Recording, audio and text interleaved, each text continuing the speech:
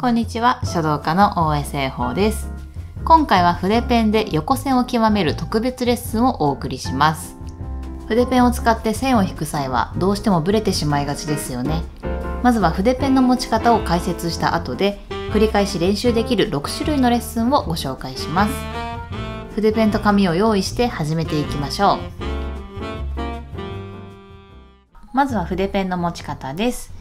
人差し指第二関節のところで曲げてそこにピタッとフィットするように持ちます。親指は横から支えましょう。上から見るとこんな感じです。人差し指と筆が連動するように持ってください。またギュッと握り込んでしまうと動きが悪くなりますので手のひらはふっくらと余裕を持つようにしましょう。持ち方の詳しい解説は概要欄の動画もぜひ参考にしてみてください。では早速参ります。ではまず基本の横線から参りましょう。少し右上がりに横線を4本書きます。始めと終わり、斜め45度に点を打ち、その間をまっすぐ右に上がっていくイメージです。さあ、筆を立てて、トン、スートン、右に上がりましょう。上がりすぎるときつくなりますので、少し右上がり。漢字の基本はこのように少し右上がりになりますので、角度に気をつけてください。書き方、注意点としては、初めが太くて後が細くなる。こうするとちょっとごついイメージになりますので、逆にだんだん太くなるのは OK です。細くなるよりも太くなるように意識をしてください。ではこれを4本書きます。トン、スートン、トン、スートン。トン、スートン。筆の先を使って綺麗な線を描きましょう。少し開いてきたら、ちょんちょんちょんとやって、毛先をいつもまっすぐにしておくことが大切です。ではこちらをあと2セット描きます。はい。トン、スートン。力を抜いて、右上がりに、だんだん太く。はじめは本当に軽くでいいです。軽く少しスピードをつけて最後をしっかり止めましょう。と1セットです。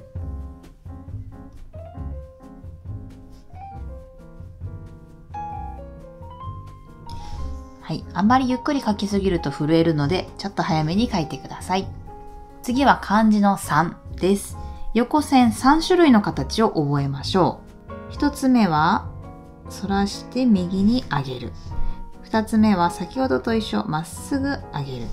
最後は持ち上げて締めるようにします。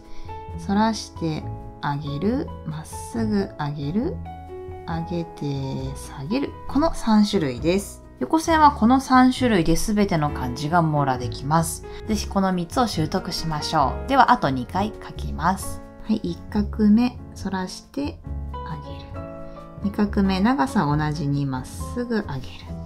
3つ目、ち上げて下げる。この最後の線難しいんですけれども、この2点が同じ位置に来ると安定します。上がりっぱなしにならないように気をつけてください。ではもう一回。反らしてあげる。まっすぐ上げる。持ち上げて下げる。もしバサついてしまってたら、ちょんちょんちょんと直しましょう。次は土です。さっきの3の一番上と一番下の線を使います。反らしてあげる。縦線真ん中。持ち上げて締める。このように上の方に来る短い線は反らしてあげるパターンが多いです。ではこれをあと2回書きます。はい、反らしてあげる。書き出しの位置に気をつけましょう。頭しっかり出してまっすぐ下げます。持ち上げて締めます。もう一回。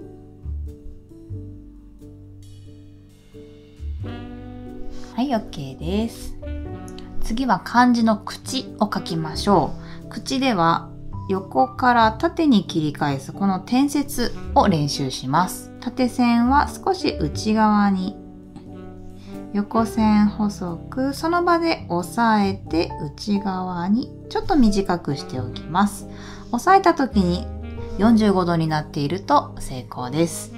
最後閉じます。ピタッと止めて下と横を出しましょう。押さえる時に真下に押さえると45度になりやすいです。ペンが倒れてしまうとやけに太くなってしまいますので、横から縦に切り返すとき倒れないように気をつけてください。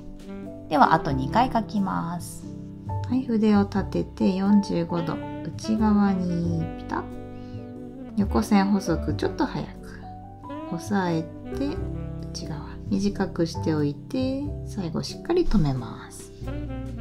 筆が開いていたらちょんちょんちょん。押さえて止めて下横を出します。では口を応用して「言う」という字です。点は左上からスーッと滑らせてスライド。右へ上がりまっすぐ行きましょう。まっすぐまっすぐ口は上の横線と幅を合わせてください、はい、字の形で言うとこの幅をだいたい合わせて横線を一番長くします。口は下、横を出すようにしてください。では、あと2回書きましょう。点左上からストーンと下ろして、筆先上向き。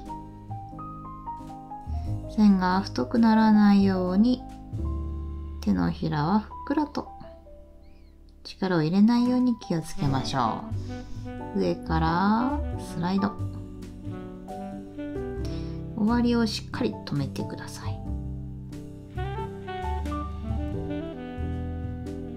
ピタッと止めて終わります。では最後に仕上げに「書く」「書」という字を書きましょう。横線細く押さえて切り返し。毛先を使って集中します。等間隔に切っていき頭しっかり出して縦線です。上の横線の幅とだいたい合わせて「火」を描きます。はい。ここは集中して等間隔を意識しましょう。横線は2本目の横線を伸ばしてひし形をイメージします。では今回の仕上げ書、あと2回書きましょう。はい、横線細く、縦太く。字が大きくなる方は、もしかしたら全部の線が太いかもしれません。横線を細くしてこのようにどんどん詰めていくと字が小さくなります。ただしその代わり縦線は太くです。では最後です。く縦太くで凛々しい字を書きましょう。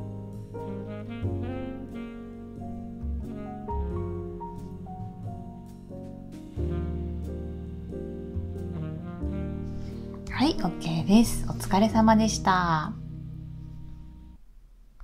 ご視聴ありがとうございました。この動画が役に立ちましたら、グッドボタン、チャンネル登録よろしくお願いします。